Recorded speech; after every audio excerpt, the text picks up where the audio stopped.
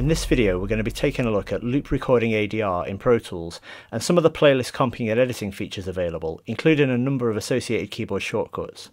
For convenience, I'll display the shortcuts on screen as and when I make reference to them, and I'll also summarise them on a single screen at the end of the video. So let's get started.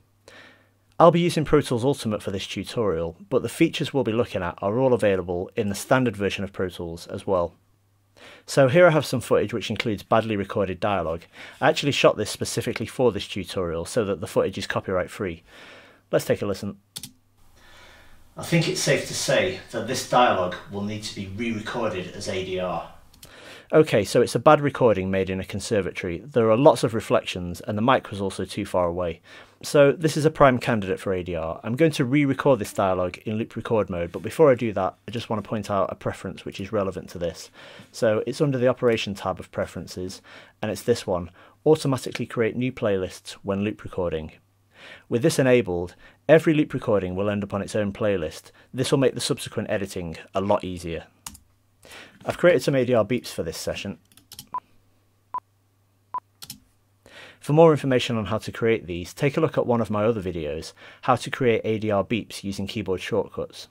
So here's a line I want to replace, here's my ADR beeps. The end of this clip group represents where the replacement line will start, so I want to align this with the start of that line.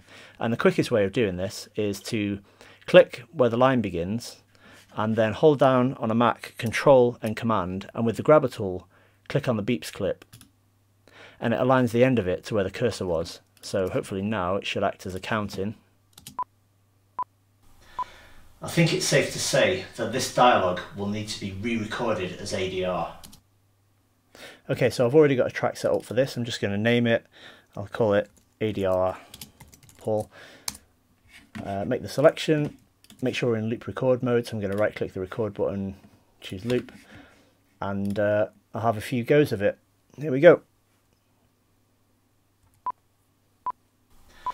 I think it's safe to say that this dialogue will need to be re-recorded as ADR. Okay, go again.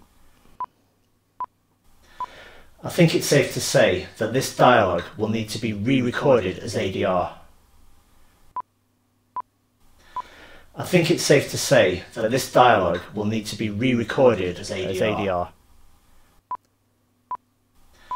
I think it's safe to say that this dialogue will need to be re-recorded as ADR. As ADR. I'll do two more.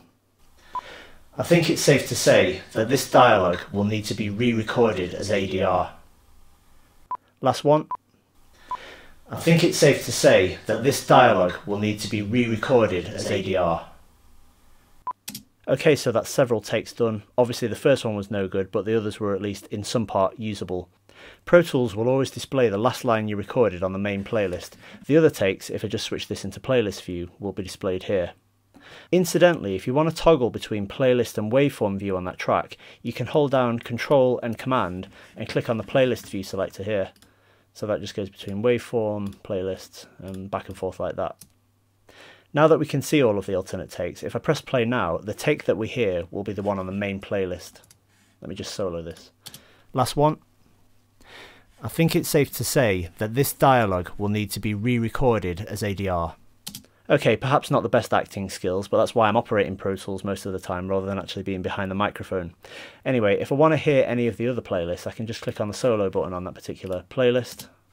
I think it's safe to say that this line, well, Move down, solo this next one. I think it's safe to say that this dialogue will need to be re-recorded as ADR. So you can solo these either by clicking on the solo button or if the edit cursor is on that particular playlist then you can just press shift S and to move the edit cursor up and down through the playlists the letter P on the keyboard moves it up and colon moves it down that's dependent upon this. Commands focus needs to be enabled for the edit window in order for those single keystroke commands to work. If it isn't, you can still do it. You just hold down control with P or control with colon to move up or down through the playlists respectively. Let me just take a listen to this one. I think it's safe to say that this dialogue will need to be re-recorded as ADR.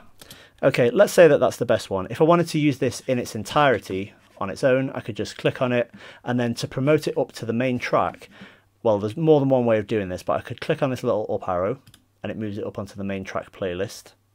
Or if I just undo that, the keyboard shortcut for this is Option, Shift and the up arrow.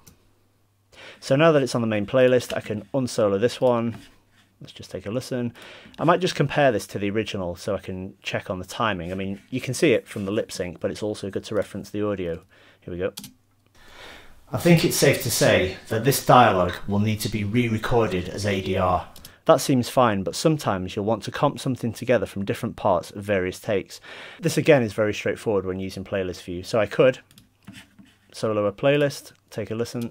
I think it's safe to say, let's say I wanted that, I could select it, and then I could, uh, once again, either click on the up arrow, or I could have done Option Shift and the up arrow on the keyboard. So we'll go with that part of that one and see if this is any good.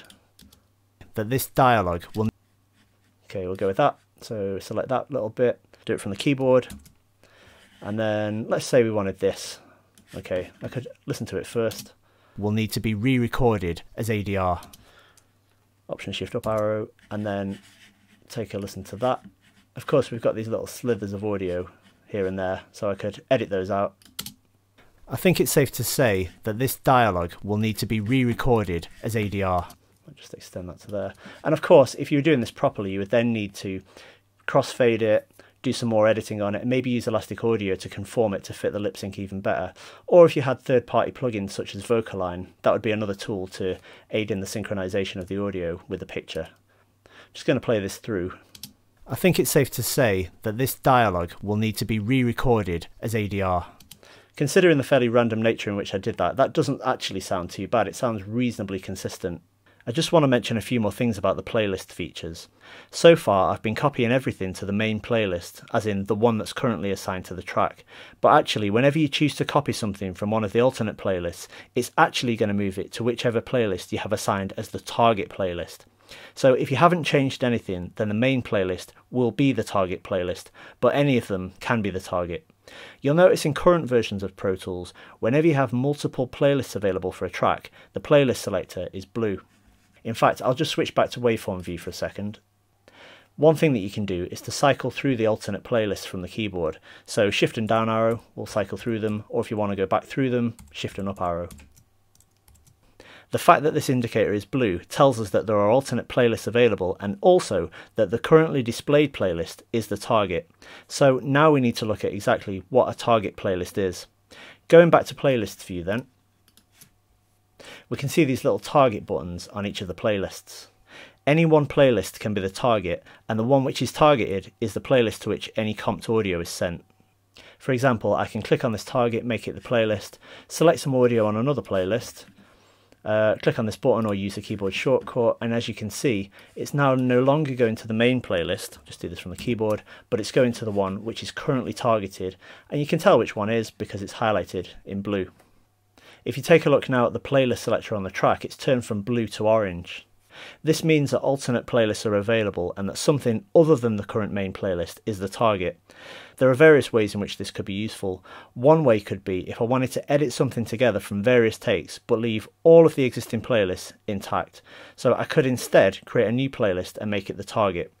The shortcut for this is control and backslash and then you could give it a name if you wanted. I'll just click OK. And then of course now I've got all of the playlists plus a new empty one. So to make this the target, I could do one or two things. I could either deselect this and that goes blue telling us that that's the target. Or alternatively, I could click on this and you can see that we've now got this target playlist option and then I could just choose any of them. So I'll choose the one that's currently on the main track and that's now the target. Just one other quick point about this. If we did have something else as the target and then I clicked on this, the other option is to actually change the target not to a specific one, but to the main playlist. And what that means is if the main playlist changes to another playlist, it will still always be the one which is currently on the track that's the target of any of those previously mentioned editing operations. Rather than creating a new empty playlist as I just did, you could also select some audio on any playlist and then copy the selection to a new one using the shortcut Option Shift down arrow. And I'll just close this video window for a second. You can see we now have a new playlist with just that audio on. Of course you could then comp in the usual way. It's probably worth making this the target. So I'll click that. And then I'll do Option Shift up arrow, select another bit. Let's say it was, I don't know, this bit. Same again. and that again just gives you another option. As you've probably realised throughout this video, there are quite a number of shortcuts associated with all of this, and you can do it with the mouse, but by learning the shortcuts which will be useful to you, obviously you can speed up your workflow and get more done. There are just a few more shortcuts which I'd like to mention which relate to comping ADR. So if an alternate playlist, such as this one, is the targeted playlist, you can actually toggle the main playlist to this, just click there, using shift and right arrow in order for this to work, you have to first make sure that the edit cursor is in the main playlist. Let me just do this again. So let's target this one instead, and then I'm going to make sure that we're parked somewhere in here, shift and right arrow, and then the one which was previously the target playlist is the target, but it's now on the main playlist of the track. To toggle back and forth between that one and the previously shown playlist, just use shift and left arrow. And as you can see, it just alternates between those two playlists. Finally, if you want to quickly audition alternates for a section of the line, select the bit in question and then use Command Shift up arrow or Command Shift down arrow. So as you can see, it's cycling those and it's deriving those from the other playlists. Now, you might notice that little home icon that appears. This indicates that you're back to what was previously on that main playlist, rather than any of the alternates you've just cycled through. In order for this to be really useful, you probably have to enable pre and post roll and actually audition it. So I'm just going to activate this, maybe just do one second either side. One thing about this um, is if you have pre and post roll on and you have it in loop playback, it's not going to play the post roll section. Let me just show you this. It's going to pre roll, and then when it gets into this bit, it'll just keep on looping and looping, and you'll never hear the post roll like this. It's safe to say that this dialogue, that this dialogue, so we don't want that. So I'll just turn loop playback off. Obviously, we'll have to stop it and start it again each time, but at least we can hear it. Here we go. So the first time I play it, we've got this. It's safe to say that this dialogue will need to be re... And then I'll do Command Shift up arrow or down arrow. Try that one. It's safe to say that this line will need to be... Oh, well, there's an interesting alternate. That was the first take I did, which was wrong. And um, we can just cycle through them and keep on trying it It's like safe that. to say that this dialogue will need to be re... Anyway, that's a basic overview of the ADR recording and track comping features in Pro Tools. As always, let me know if you have any questions, and I'll see you again next time.